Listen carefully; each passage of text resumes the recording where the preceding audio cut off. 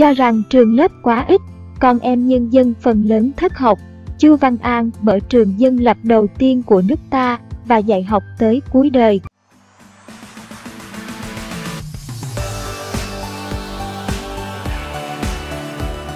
Chu Văn An, người thầy đầu tiên, danh nhân văn hóa thế giới của Việt Nam.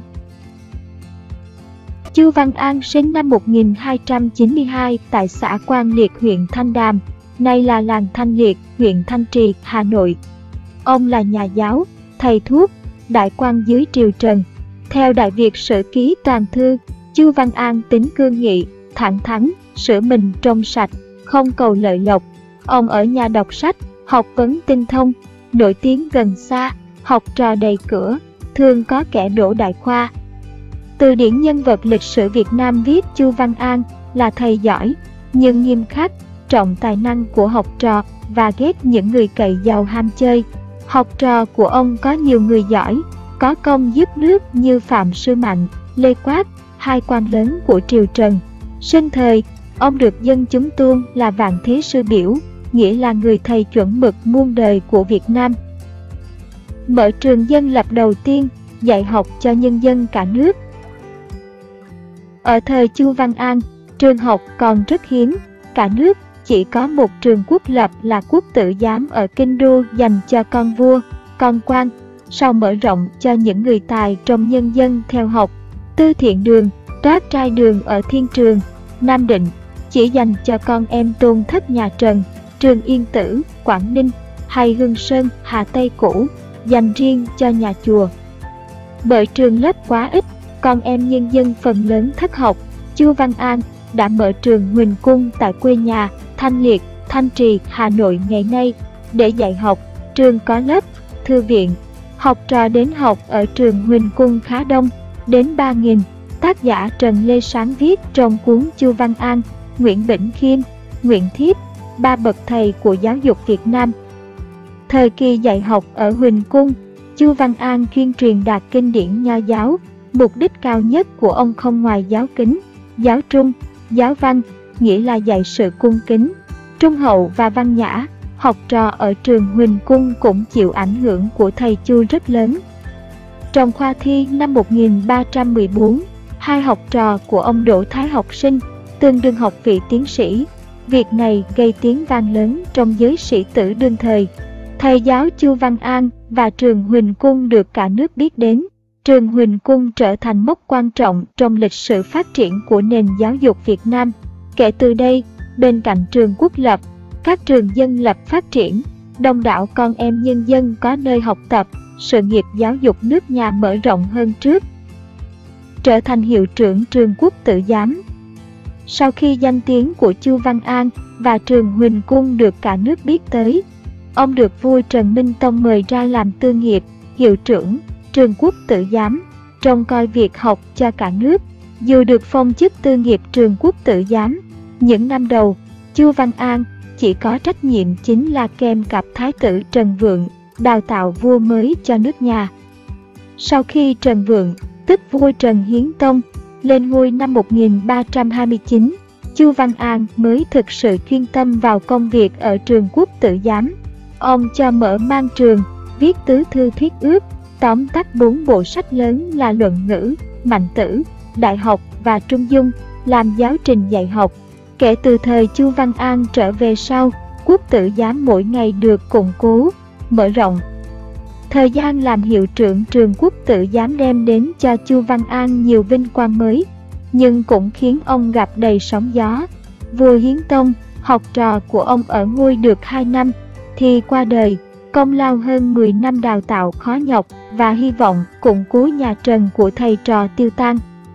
Lúc này, vua Trần Dụ Tông lên thay, triều chính đất nước rối ren, vua ham mê tự sắc, nóng nảy, nông cạn. Trong triều, quyền gian liên kết hoành hành, bên ngoài giặc giả giấy lên cướp bóc, thấy chính sự bê bối, nhà giáo Chu Văn An phẫn nộ, ông đã viết thất trạm sớ, đòi chém bảy kẻ nịnh thần, đều là người quyền thế được vua yêu. Dù bị vua dụ tông phớt lờ, tấu sớ của hiệu trưởng trường quốc tự dám gây chấn động dư luận, bởi theo quy chế lúc bấy giờ, chỉ quan ngự sự mới được quyền can gián vua. rời kinh thành về Chí Linh dạy học tới cuối đời. Theo Đại Việt Sử Ký Toàn Thư, sau khi dân thất trạm sớ, nhưng không được vua trả lời, Chu Văn An rời kinh thành về vùng đất Chí Linh, Hải Dương, mở trường tiếp tục dạy học. Dù là nơi thâm sâu cùng cốt, số học trò đến với thầy Chu vẫn đông. Lúc này, Chu Văn An lấy hiệu là Tiểu Ẩn, chỉ lấy việc dạy học, làm thơ cho vui. Từ khi Chu Văn An về, Chí Linh giấy lên phong trào học tập, nhiều người học giỏi nổi tiếng. Đặc biệt, ở đời nhà Mạc, huyện này có bà Nguyễn Thị Duệ thi đỗ tiến sĩ, là nữ tiến sĩ đầu tiên và duy nhất của Việt Nam thời phong kiến.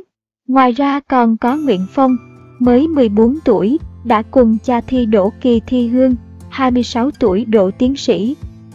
Những ngày dạy học ở Chí Linh, Chu Văn An còn trồng cây thuốc, nghiên cứu y học, giúp người dân chữa bệnh. Dù ở xa, nhiều học trò cũ đã làm quan vẫn về thăm ông. Đại Việt Sử Ký viết khi học trò về thăm, ai làm điều gì chưa đúng phép, ông vẫn nghiêm khắc dạy bảo. Điều này khiến học trò càng thêm kính mến. Cuối đời, Chu Văn An sống thanh thản trong cảnh nghèo, vui với lớp học, văn chương, triều đình nhiều lần mời về, nhưng ông nhất định từ chối, thế nhưng lòng ông vẫn hướng về nhà Trần. Sau khi vua Trần Nghệ Tông dẹp yên loạn dương Nhật lễ, lấy lại được ngôi vua, Chu Văn An, dù tuổi cao, vẫn về triều chúc mừng. Việc làm đó của ông khiến nhân dân và sĩ phu đương thời quý trọng.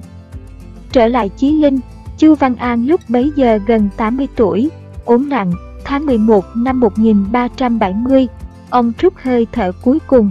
Khi thầy Chu Văn An qua đời được vua Trần tôn vinh là vạn thế sư biểu, người thầy mẫu mực của muôn đời, và cho đặt tượng thờ trong văn miếu cùng nơi thờ đức khổng tử. Suốt cuộc đời mình, Chu Văn An không lúc nào sao nhãn sự nghiệp giáo dục. Điểm nổi bật trong công lao đóng góp của ông là việc sáng lập nên trường học trong nhân dân, việc học và dạy có kết quả lớn.